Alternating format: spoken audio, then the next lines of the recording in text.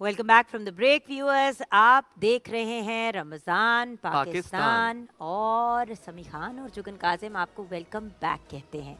जी हमारे साथ इस वक्त जैसे कि ब्रेक से पहले भी आपकी मुलाकात करवाई पाकिस्तान के बल्कि internationally renowned clinical and therapeutic nutritionist doctor Azmat Majeed हैं। अस्सलाम वालेकुम अगेन डॉक्टर साहब। वालेकुम अस्सलाम। डॉक्टर साहब आज आपने आते ही कहा कि इस टॉपिक पे मुझे आराम से सुकून से एक्सप्लेन करने देना है व्यूअर्स को क्योंकि ये एक तरह से हमारे व्यूअर्स के लिए एक तोहफा होगा जो आप अभी प्रोवाइड करने जा रहे हैं। हमने हमेशा सुना है कि विटामिन सी जो है वो हमारी कोत मुदाफ़ियत को बहुत इम्प्रूव करती है। जिसकी वजह से जब बहुत सी बीमारियाँ आई और गईं जिनमें से कोविड एक है तो हर बंदे ने विटामिन सी की तरफ़ रुजू किया। आप कुछ मुख्तलिफ़ कहते हैं विटामिन डी के बारे में जिसको सनलाइट विटामिन भी Exactly. कहते हैं। जी डॉक्टर साहब। देखें विटामिन डी जो है वो एक बहुत ज़बरदस्त और हमारा इंटेग्रल पार्ट है हमारे इम्यून सिस्टम का। हमारा इम्यून सिस्टम जो है ना वो इस तरह है कि हमारी बॉडी के अंदर कुछ अहलकार होते हैं जो लड़ते हैं जब हमें कोई इन्फेक्शन होती है। और उसमें से 75 परसेंट जो अहलकार होते हैं जो जो लड़ाई जो एक इन्फेक्शन से लड़ते हैं उनको हम इम्यूनोग्लोबुलिन एम एंटीबॉडीज कहते हैं। ठीक है। और ये कब बनती हैं? जब आपके विटामिन डी के लेवल्स पूरे हों। सो विटामिन डी जो है वो सिर्फ़ और सिर्फ़ बोन हेल्थ के लिए नहीं है। क्योंकि हमेशा कहते हैं हड्डियों में अगर दर्द है तो विटामिन डी विटामिन डी की डोज ले लें आप। हाँ आप विटामिन डी की डोज ले लें। और वो विटामिन डी जो है उसके इतने ज़्यादा फार रेंजिंग उसके इफ़ेक्ट्स हैं कि मैं आपको यानी कि हम उसको थोड़ी देर में कोशिश करेंगे उसको करने की।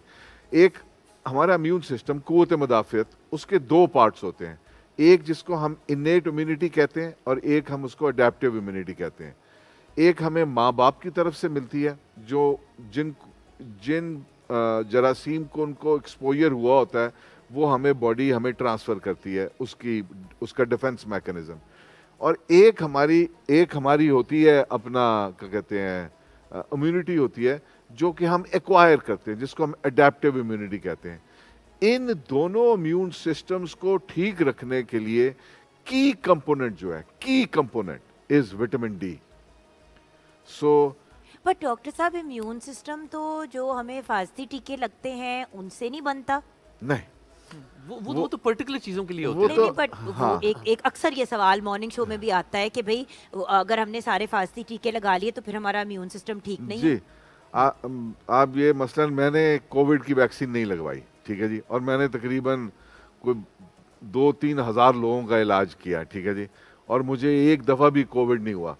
उसकी उसकी वजह क्या है कि एक तो अपना इम्यून सिस्टम बेहतर रखा और कोशिश ये की कि अगर ये तो हो नहीं सकता कि मेरे अंदर दाखिल ना हो किसी कोई जरासीम दाखिल ना हो मगर इम्यून सिस्टम आपकी कुत मदाफियत इतनी होंड हो कि उसके आपको कम से कम सिम्टम्स हो। आपको 103 बुखार ना हो आपका 99 में बट डॉक्टर साहब ये वही वाली बात आ गई कि जिस तरह कोविड में कुछ ऐसे लोग जो दिखने में बिल्कुल ठीक ठाक थे चलते फिरते बिल्कुल ठीक वो इस दुनिया से रुखसत हो गए। लेकिन अम, ऐसे लोग जो एटी प्लस के थे अस्सी साल में ऐसे भी लोगों को जानती हूँ एक हमारी आंटी है वो एटी फाइव की थी उनका इतना मतलब अल्लाह का शुक्र है कि मतलब उनको कोविड हुआ और दो दफ़ा हुआ और दोनों दफ़ा डॉक्टर साहब अल्लाह का बहुत करम है हॉस्पिटलाइज भी नहीं हुई वो। जी यानी कि उनकी कुत मुदाफियत उस शख्स से ज़्यादा हाँ। स्ट्रांग थी जो शायद 25-30 साल का था। बिल्कुल। इसमें मैं आपको एक और भी बात बताना चाहूँगा कि अभी जैसे ये आरएनए वायरस एक आई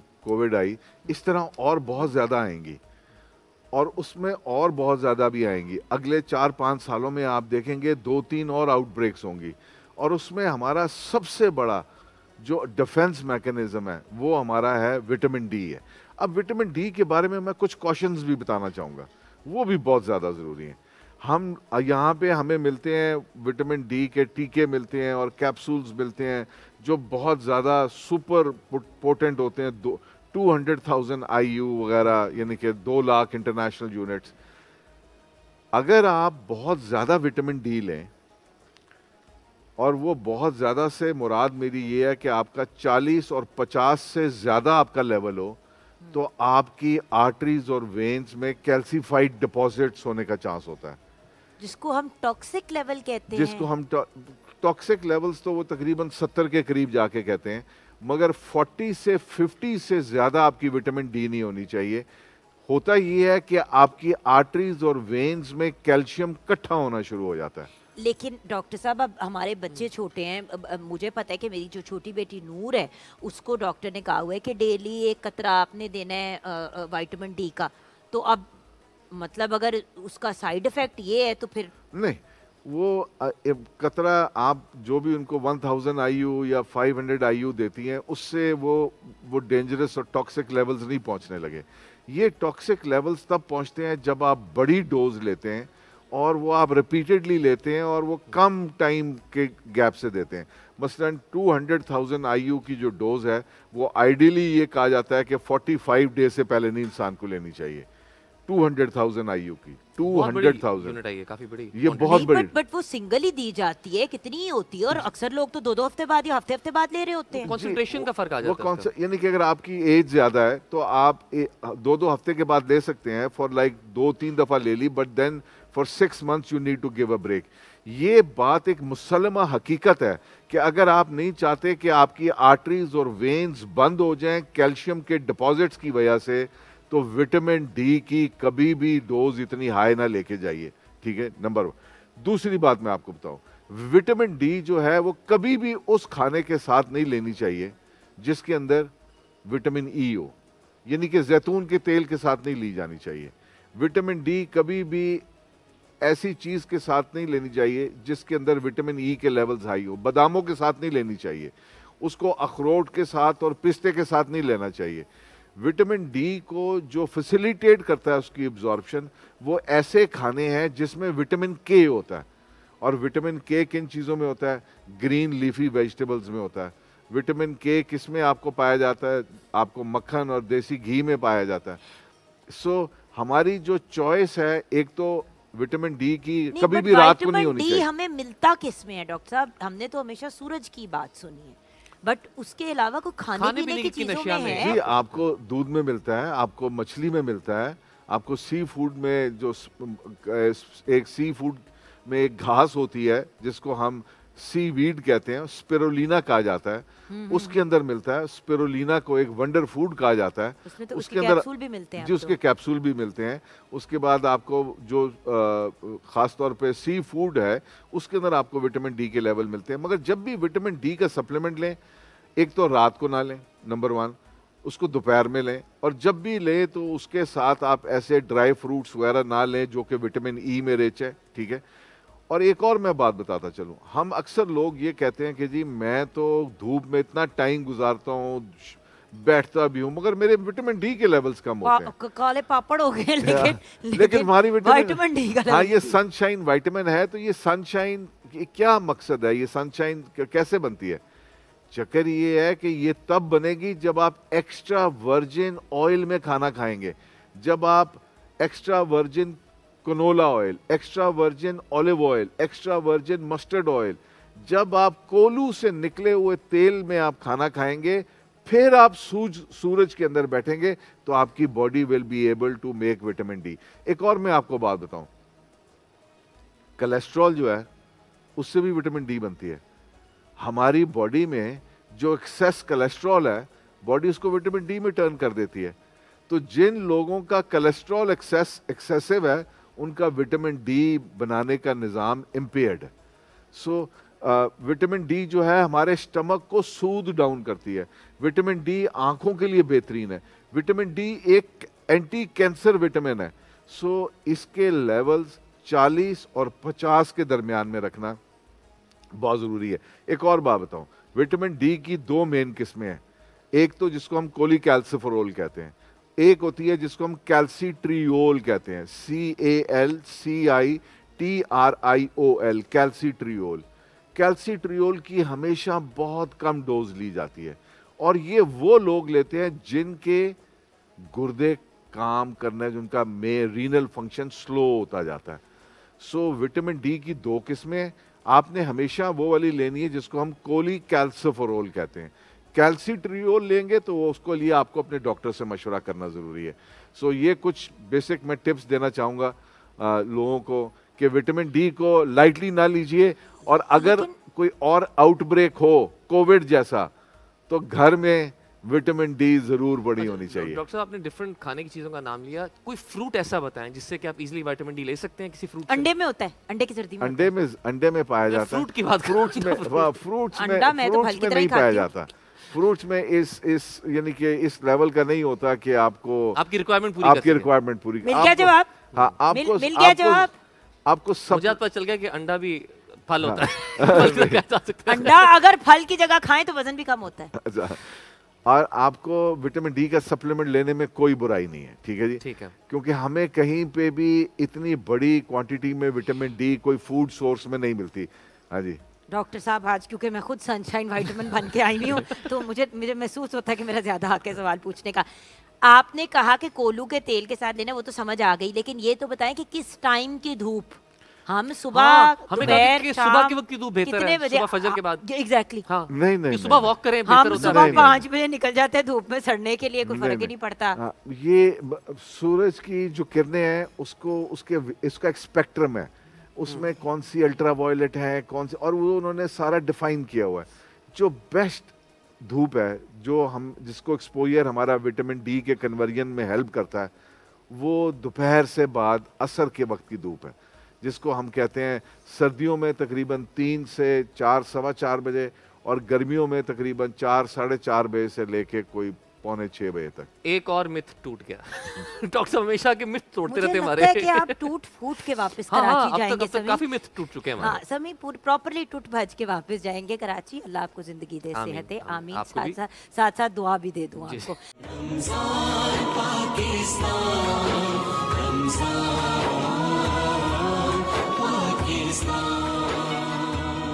अच्छा समी एक बड़ा मेजर सवाल जो हम्म। रह गया जो डॉक्टर साहब से मैंने पूछना था और बहुत से लोग भी ये जानना चाहते हैं। हम वाइटामिन डी की बात कर रहे थे डॉक्टर साहब ने हमें बहुत इंटरेस्टिंग डिटेल्स बताई। लेकिन डॉक्टर साहब एक बात कोई भी इंसान ये कैसे जान सकता है कि उसके अंदर विटामिन डी की कमी है? क्योंकि आजकल सिर्फ़ अगर जॉइंट्स में दर्द होती है तो डॉक्टर कहता है आप अपना वाइटामिन डी जो है आप विटामिन डी की कैप्सूल ले लें या विटामिन डी का वो ऑयल जो इंजेक्शन में होता है वो आप पी लें या लगवा लें। तो थोड़ा सा गाइड करेंगे कि विटामिन डी की कमी की क्या इंडिकेशंस हैं जिसम के अंदर? जी सबसे पहले जब आपके विटामिन डी की कमी होती है तो आपकी एक से पेन शुरू हो जाती हैं खास तौर पे बोन्स में। जिसको हम गिट्टे गोटों की दर्द कहते हैं। हाँ जी गिट्टे गोटों की दर्द करते हैं। आपकी पिंडलियों में दर्दें शुरू हो जाती हैं आपके पंजे जो हैं वो थोड़े से नम होने शुरू हो जाते हैं। और उस टाइम पे हमें ये कहा जाता है, ये समझा जाता है कि विटामिन डी की आपकी डेफिशिएंसी है। मगर सबसे बेहतरीन तरीका ये है, ये एक बड़ा छोटा सा टेस्ट है। आप किसी भी लेबॉर्ट्री पे जाएँ और अपना विटामिन डी का टेस्ट कराएँ। अब इसके वेरियस रेंजेस आते हैं कि जी 10 से लेके 100 तक का होता है और वो 60 70 80 का रखते हैं। आपने कोशिश करनी है कि आपकी 40 से हमेशा ऊपर हो। और 40-50 के दरमियान में मैक्सिमम 40 से 60 के दरमियान में। ये किसी भी फार्मेसी से आपको विटामिन डी थ्री का इंजेक्शन मिल जाएगा। एक और भी मैं यहाँ पे मिथ को मेरे ख्याल में बस्ट करता चलूँ। लोग ये समझते हैं कि एक बड़ी डोज ले लेना आफ्टर थर्टी डेज़ या फोर्टी फाइव डेज़ वो ज़्यादा बेहतर है बनस्पत एक छोटी डोज लेने के। यानी कि आप आपकी उम्र चालीस साल करके डेली लेते रहे। जी थोड़ी थोड़ी करके डेली लेते रहे। जो थोड़ी थोड़ी करके डेली ली जाती है, वो ज़्यादा इफ़ेक्टिव होती है। आपकी हेल्थ को रिस्टोर करने में, आपकी बोन की हेल्थ को रिस्टोर करने में बनस्पत बड़ी के लिए। जब आपकी उम्र थोड़ी सी बढ़ जाए तो होता ये है कि वाइटामिन डी की एब्जॉर्बशन वो जो है, वो लिमिटेड हो जाती है।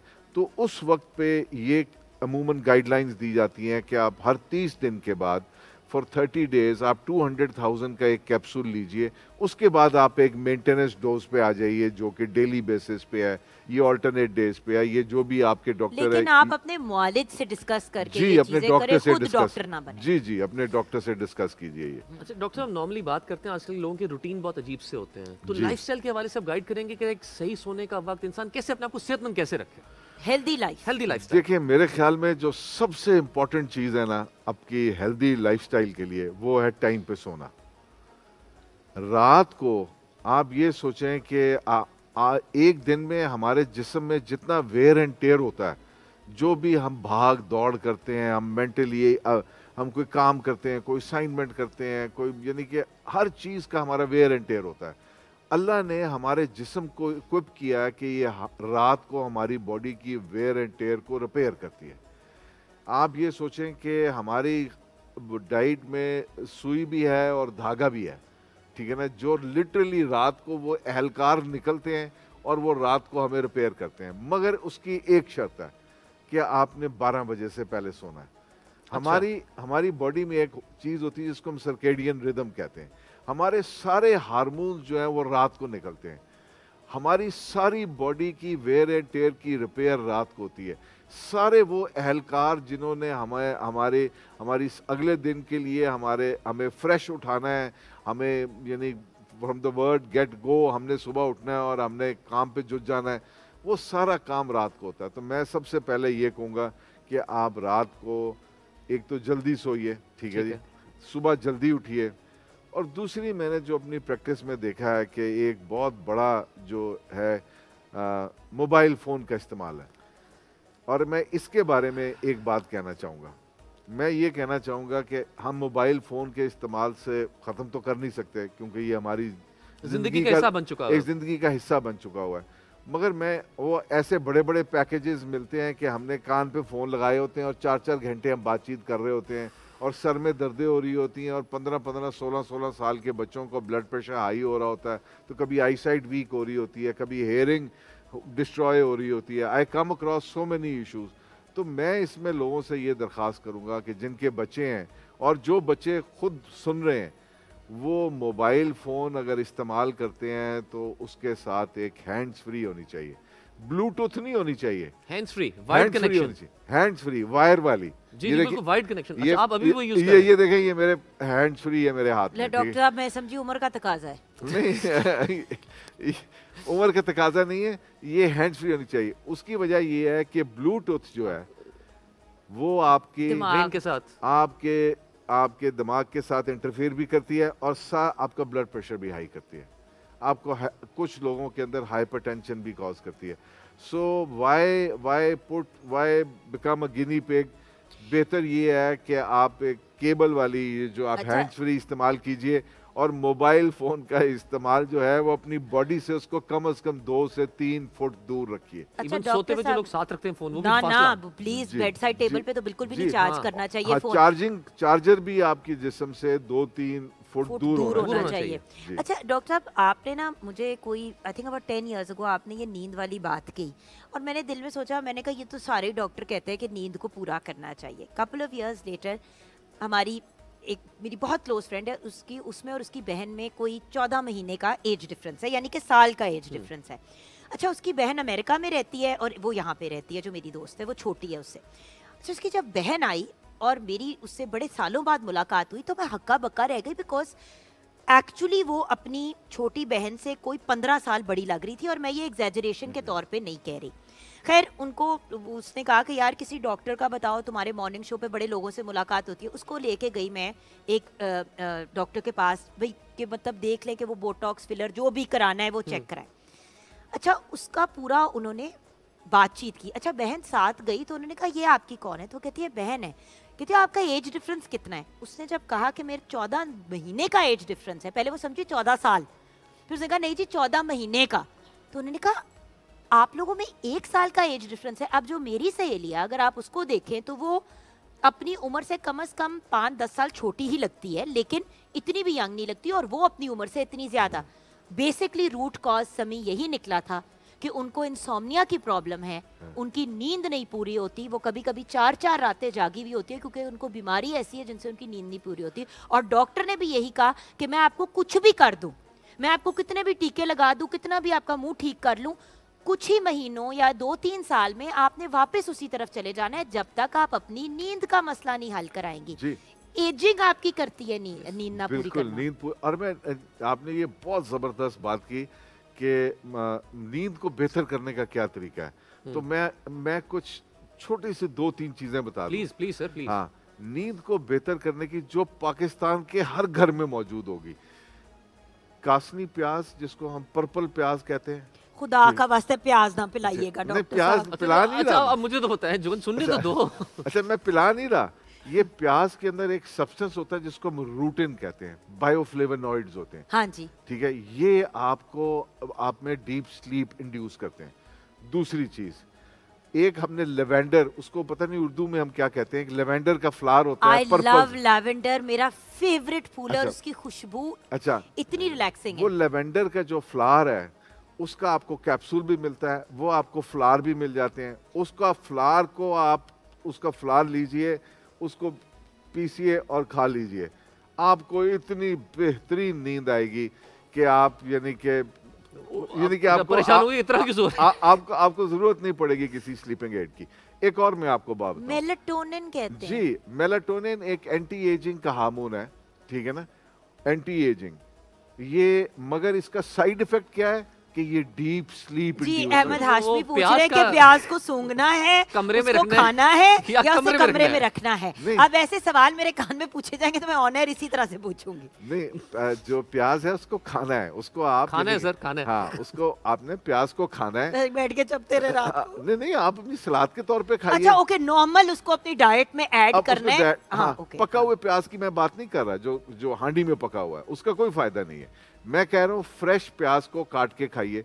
उसके बाद एक और चीज़ में आपको मेलाटोनिन की आपने बात की। मेलाटोनिन एक एंटी एजिंग सब्सटेंस है, जिसका साइड इफ़ेक्ट है डीप स्लीप और हर जगह पे मिलता है। साइड इफ़ेक्ट है डीप स्लीप डॉक्टर साहब आपने तो मुझे कभी मेलेटोनिन नहीं प्रिस्क्राइब किया कि मैं अपनी एजिंग को रिवर्स करूँ? न वो एजिंग को रिवर्स करने के लिए अभी आप यू डोंट आप अब अभी अभी आप उस पहले पे नहीं बहुत कि है। रिवर्स करना पड़े। हाँ, आप नहीं नहीं पहले मैं डेफिनेटली वहाँ पे पहुँच चुकी हूँ और अच्छा। अब रिवर्सल का टाइम भी आ गया। अच्छा हाँ जी। बेसिकली वो एंटी एजिंग है। दूसरी एक और चीज़ एक दो चीज़ें मैं आपको और बता दूँ। कैल्शियम कैल्शियम जो है वो हमेशा रात को ली जाती है। कैल्शियम जो है वो एक ट्रैंकुलाइजिंग किस्म का सब्सटेंस है। आपको आपको नींद इंड्यूस करने में हेल्प करता है। जिंक हर जगह पे कोविड के बाद मैं बेतहाशा फार्मूले जानता हूँ पाकिस्तानी कंपनीज़ ने बनाए हुए हैं जिसमें जिंक मौजूद है। थोड़ा सा जिंक अगर आपकी पाँच से सात मिलीग्राम आपकी डाइट में हो या जिस गूगल पे ये देखिए कि जिंक रिच फूड्स कौन से हैं आप वो जिंक रिच फूड्स लीजिए आप ये देखेंगे कि आपको रात को नींद बेहतर से बेहतर आएगी। सो so, मेलेटोनिन का साइड इफ़ेक्ट बेसिकली डीप है। स्लीप है हाँ। बट एक्चुअली वो एंटी एजिंग के लिए इस्तेमाल की हाँ जाती है। अच्छा अब सबसे पहले आप सबसे लाइव ऑडियंस से भी और जो हमारे व्यूअर्स देख रहे हैं एक रिक्वेस्ट करनी है। डॉक्टर साहब ने आपको इंडिकेशंस दी हैं। खुद सेल्फ प्रिस्क्राइब करके अजीबोगरीब डोसेज मत लीजिएगा। अपने मालिज से रुजू करें उनको बताएँ कि जी मुझे पता चला है कि ये ये चीज़ें जो हैं मुझे इस इस चीज़ में मदद करेंगी। मुझे प्लीज़ प्रॉपर डोसेज बता दीजिए और क्या मेरी मेडिकल सिचुएशन और कंडीशन में ये बनता है कि नहीं? प्लीज़ क्योंकि डॉक्टर साहब आपको इंडिकेशंस दे रहे हैं वो चीज़ें बता रहे हैं जो आपके इंटरेस्ट की और नॉलेज की है लेकिन सेल्फ प्रिस्क्रिप्शन के ऊपर आपने नहीं जाना राइट डॉक्टर साहब? एक सवाल था लेकिन अभी कलाम की तरफ़ बढ़ना है। मगर कलाम की तरफ़ अगली ब्रेक में पूछेंगे अच्छा डॉक्टर साहब हम आपको जाने हम नहीं आपको जाने नहीं दे रहे आज। क्योंकि अभी मैंने आपसे मौसमी फलों की भी बात करनी क्योंकि आप इसके बाद फिर बिज़ी हो जाएँगे और हो जाएगी इसके बाद। तो आज हमारे तो साथ हम आपके करेंगे ना साथ इफ्तारी करेंगे ना डॉक्टर साहब आज तो आप हमारे साथ इफ्तारी कर सकते अच्छा, हैं। अफगानी पुलाव बनाए। अच्छा। वो मेन्यू देख चुके हैं देख के मेन्यू देख के आए कुछ चीज़ें मैंने भी बनाई हैं आज खुद।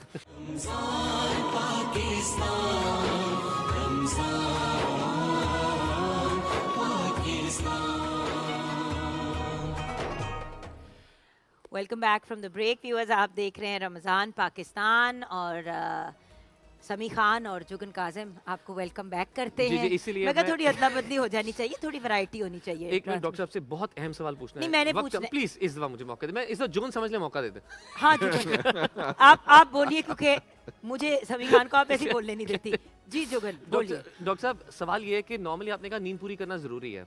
आज आप किसी यंगस्टर को कहना कि नींद पूरी करे वो क्या करता है? सारी रात जागता है? दिन में कहते सो के नींद पूरी कर ली। ये साथ बैठी हुई है। ये ये कितना ज़रूरी है कि 12 क्या आपने कहा रात को 12 से 7 दिन इस टाइम पे नींद पूरी करना ज़रूरी है? रात दिन दिन में आप नींद पूरी करें। जी रात की जो क्वालिटी है जो नींद की जो क्वालिटी है वो सुबह की नींद से बहुत ज़्यादा बेहतर है। बेहतर है। हाँ यानी कि आपके जो सारे हार्मोन्स हैं वो रात को स्क्रीट होते हैं। वो आपका एक सर्केडियन रिदम जो है वो अल्लाह ताला ने एक ऐसा निज़ाम बनाया है जो कि हमारे सूरज के निज़ाम के साथ चल रहा है अंधेरे के साथ चलता है।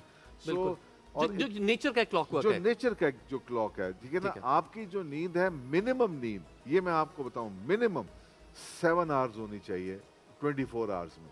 अगर आपकी इससे नींद कम है तो हो सकता है कुछ लोगों की इनहेरेंटली कम हो। बट छह घंटे से कम तो डॉक्टर साहब। अपनी जात के साथ ज़्यादा जी ये आपके सेवन आवर्स जो है ना इसको ऑप्टिमम नींद कहा जाता है। ठीक है। जैस जब आप बच्चे जो होते हैं जिनकी बॉडी ग्रो कर रही होती है और एक और बात बताओ अगर आपकी हाइट कम है और आप चाहते हैं कि आपकी बॉडी ग्रो ग्रो करे तो यू शुड स्लीप मोर आपकी बॉडी की ग्रोथ रात को होगी।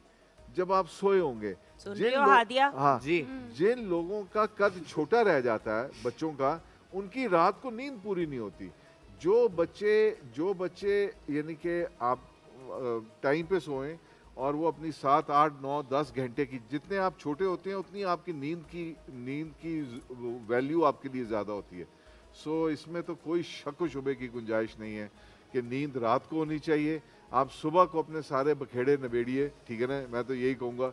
ट्रांसमिशन वगैरह जो भी आपने करनी है। मॉर्निंग शो मॉर्निंग शो और आपके रात को 12 बजे ये कट ऑफ़ टाइम होना चाहिए। मेरे और और और हाँ, आपकी सिंगिंग 12 बजे कट ऑफ़ टाइम होना चाहिए। एक और वैसे एक्चुअली जिसको आपको ये बताना चाहिए ना वो आपके लेफ़्ट हैंड पे हाथ बैठे हैं। हमें वो लिखने की कोशिश आने क्योंकि वो तो आप तो 24 घंटे अपनी खताती में बिज़ी होते हैं। आप एक्चुअली रात को नींद पूरी करते हैं अपनी फासिल भाई? रूटीन में बिल्कुल करता हूँ। और मेरा जो मश करने का वक्त है वो सुबह फजर से पहले या बाद का ज़्यादा। और मैं अमूमन रात दस बजे ग्यारह बजे तक सो जाता हूँ। लेकिन आपने सात घंटे सोना है आप अगर दस बजे सो जाएँगे और आप फजर के बाद दिन में एक नैप लेता हूँ तकरीबन ग्यारह बजे के करीब फिर ग्यारह से बारह एक बजे तक फिर दिन में दो घंटे सो लेता हूँ चूँकि कहीं जाना तो होता नहीं अपना घर में काम कर होता हूँ। तो दिन में दो तीन घंटे सो लेता हूँ बाकी कुछ रात में। आज जुगन हमने बहुत अहम डिस्कशन की फतेह मक्का के हवाले से जिसमें हम सबके लिए बहुत बड़ा सबक है कि साबित कदमी अल्लाह पर तवक्ल के साथ अब बड़ी से बड़ी मुश्किलात आसानियों से गैबी मदद के साथ पार कर सकते हैं अल्लाह ताला बेशक। आपकी मदद फरमाते हैं। और साथ ही साथ एक फातेह का रवैया कैसा होना चाहिए? एक फातेह का उस मौके पर क्या हुस्न सलूक होना चाहिए? उसकी मिसाल भी हमें मिलती है नाजरीन। और इसके साथ साथ आज रमज़ान मुबारक का दूसरा अशरा हमसे रुखसत हो रहा है थोड़ी देर में। ये मगफरत का अशरा है। आप सबसे अभी भी दुआ है कि बहुत से लोग इस वक्त एतकाफ में भी बैठने की तैयारी कर रहे हैं। बिल्कुल। और आज स्पेशली इस वक्त कुछ लम्हे बाकी हैं। मगफरत की दुआ करें उन दुआ में हमें भी याद रखें हमारी पूरी टीम को याद रखें और दुआ करें कि अल्लाह पाक अगला अशरा भी हमें ऐसे ही इससे मुस्तफ़ होने की तोफ़ी अता फरमाए। आमीन आमीन। नाजरीन लाहौर में अजान मगरब का वक्त करीब है। अभी हम एक ब्रेक पे जाएँगे तो ब्रेक के बाद पीटीवी लाहौर से अजान मगरब दी जाएगी और बाकी इलाकों के लोग अपने मुकामी वक्त के हिसाब से रोज़ा इफ्तार करें। पाकिस्तान टेलीविज़न की इस खसूसी इफ्तार ट्रांसमिशन से आपके मेज़बान समी खान और जुगन काजिब को अब इजाज़त दीजिए।